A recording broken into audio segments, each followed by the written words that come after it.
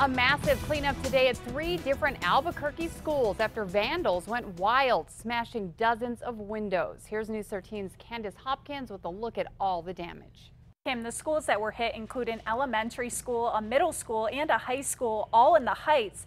John Baker Elementary was hit the hardest. District officials say 30 windows were destroyed there. Next door, Hoover Middle School was also targeted.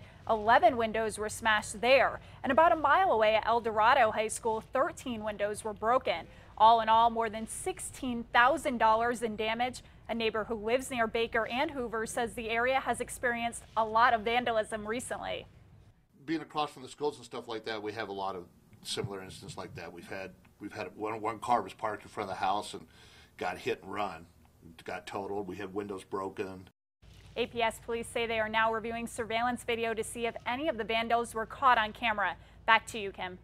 Okay, thanks, Candace. Now, just last week, we reported that at least 30 APS schools are planning to upgrade their security systems. District officials say some of their schools have no cameras at all. Many others have outdated technology.